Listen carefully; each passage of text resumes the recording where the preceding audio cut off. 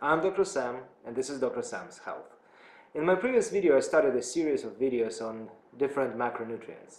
We have already covered carbohydrates in the last video and today we're going to talk about something else which will be fat. From the get-go I would like to clarify something, specifically the terminology. Sometimes we use the word lipid, sometimes we use the term fat, oil, uh, sometimes we talk about adipose tissue. What are these? What are the differences? And uh, how do we approach them in general? As a physician and a scientist, I tend to use the word lipid. Uh, and uh, it is a scientific term that uh, includes a group of substances that all of them are not water soluble and uh, th this group includes several actually very different distinct entities there. First of all, it's fatty acids Second, it's triglycerides, which is a combination of fatty acids with a, uh, with a glycerol.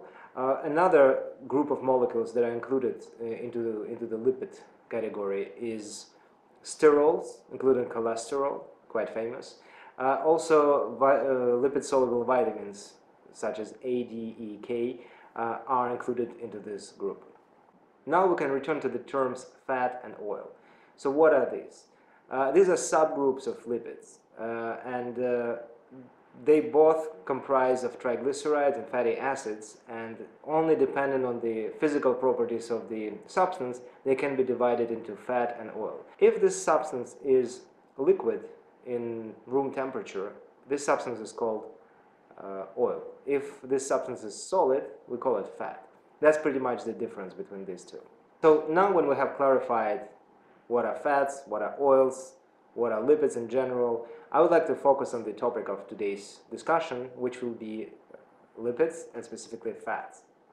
Fats and lipids comprise mainly of triglycerides, uh, which are a combination of glycerol and three fatty acids.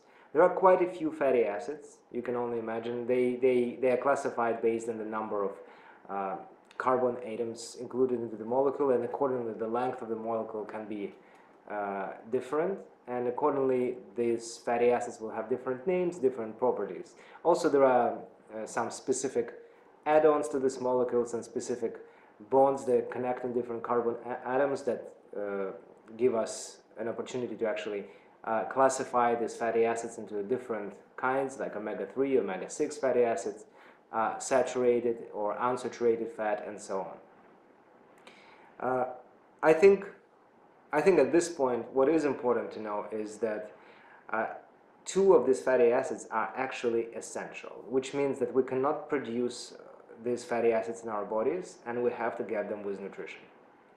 These two fatty acids are called linoleic and alpha-linolenic acids. Uh, we don't have to memorize them, I just want you to know that there are two fatty acids that are essential and that we cannot live without them.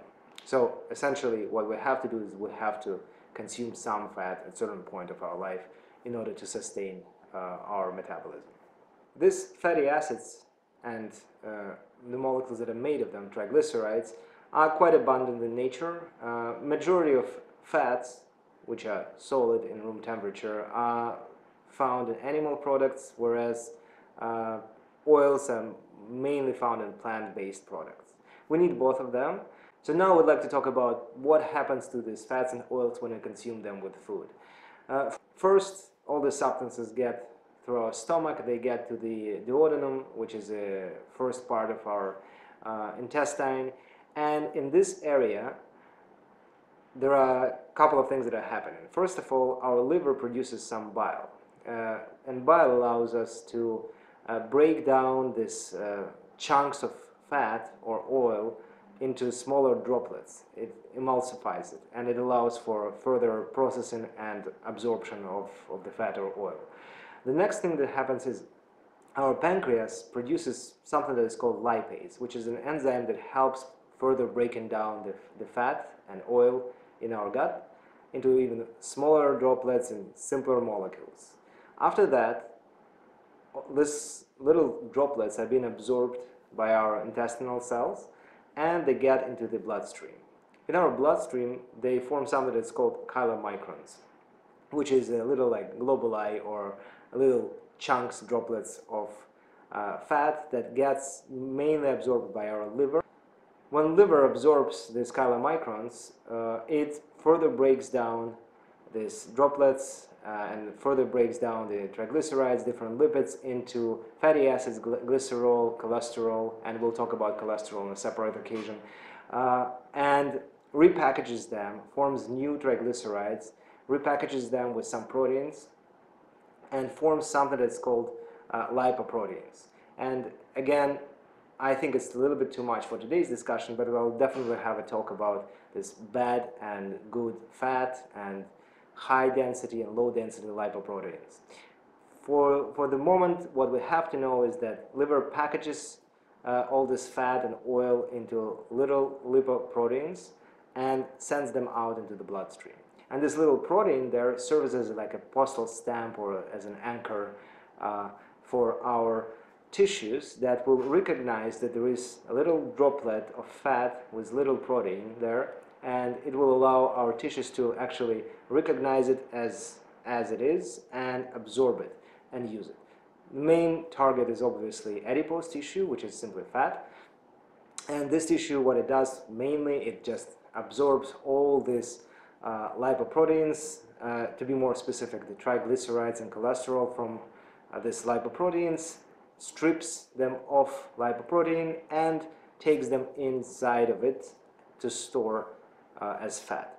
Uh, other tissues sometimes uh, they use these lipids for their metabolism or structural purposes or not. really depends on what's happening in our body. And that brings us to the discussion of what are the functions of, of, of the lipids, of fat. So there are actually quite a few functions, believe it or not. Uh, the very first and very obvious one is we use our fat as, as an energy source, actually a very good one. Uh, first of all, we can store them and uh, lipids or fat or adipose tissue, it's very compact and it's very energy dense. One gram of fat gives us approximately 9 kilocalories of energy, which is the highest among all macronutrients. Something I, I believe is worth mentioning is the process of uh, burning fat. So when our body realizes that it needs energy and it has to take energy from fat, what it does, it breaks down triglycerides into glycerol, which is effectively a carbohydrate. It gets burned very quickly and easily. Uh, and uh, it takes each fatty acids and starts something that's called beta oxidation. So during this beta oxidation, what our body does is it converts fatty acids into ketone bodies. And there are three molecules that are worth mentioning. One of them is acetone, another one is acetoacetate, and another one, the third one is beta-hydroxybutyrate. Uh, they all are water soluble, so they have been released into the bloodstream and they can be uptaken by our tissues and used as, a, as an energy source. Pretty good one. This condition when we have lots of ketone bodies in our bloodstream is called ketosis. One important thing to mention is that it takes a while for our body to uh, switch from mostly carbohydrate-based metabolism to um, ketone-based metabolism.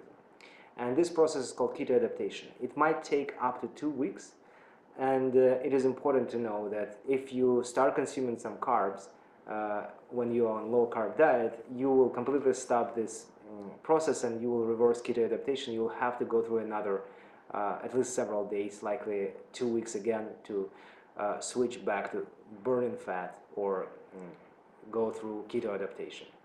One of the most important organs in this process is our brain, uh, which takes two weeks to actually switch to ketones.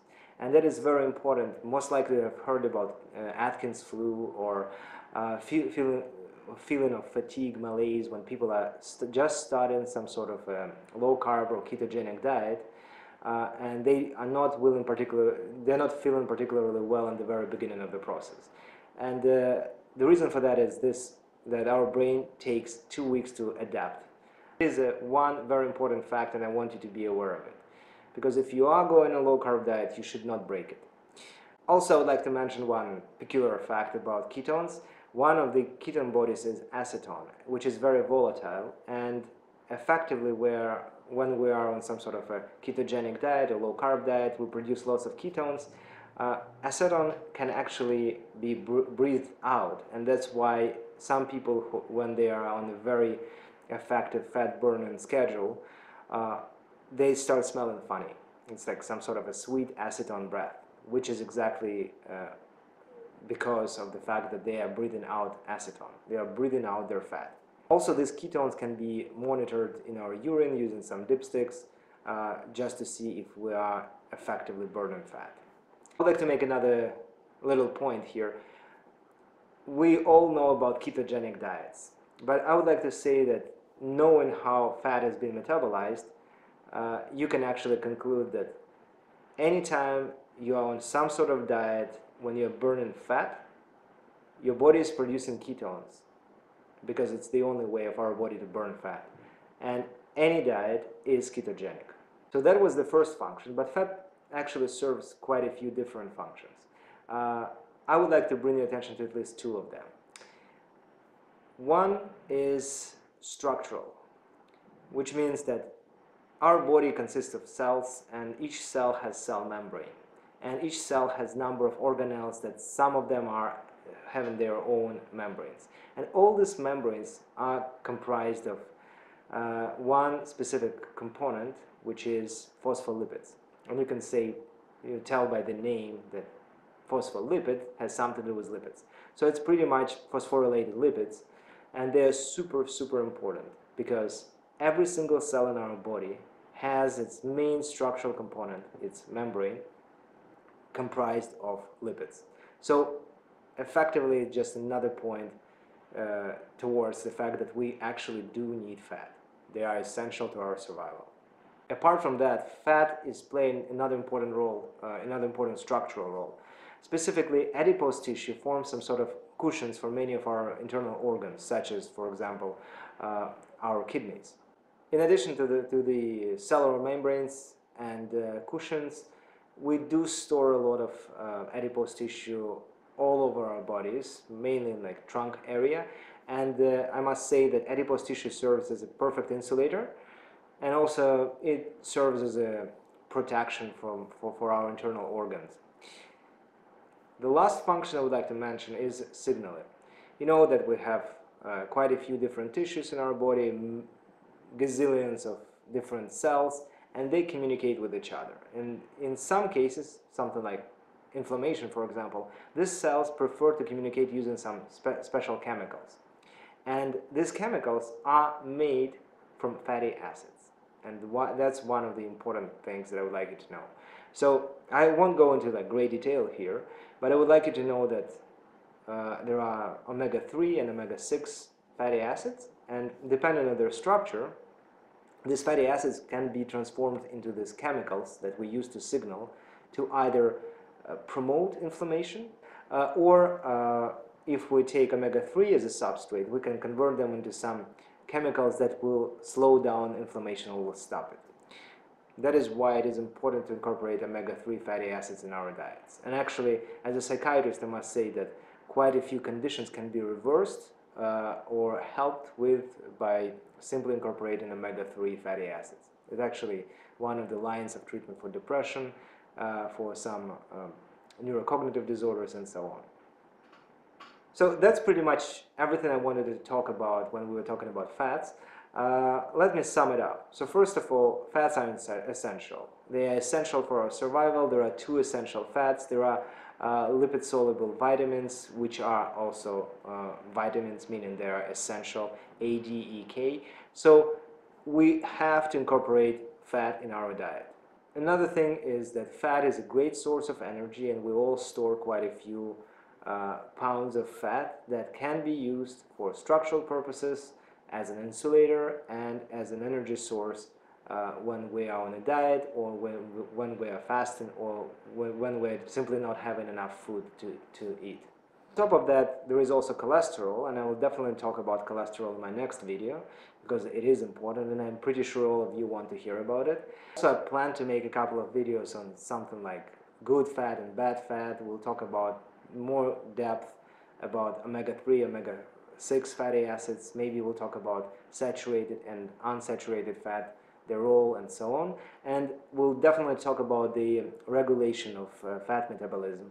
And uh, that will be very important for us to know and to discuss in order to properly plan our diet uh, in our body transformation process.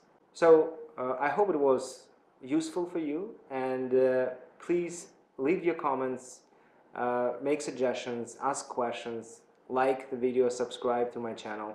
We'll, we'll have quite a few topics to go over in the future. And again, leave comments, ask questions. I'll be happy to answer them. Uh, let's uh, keep the momentum going. And I'll see you in my next video. All the best.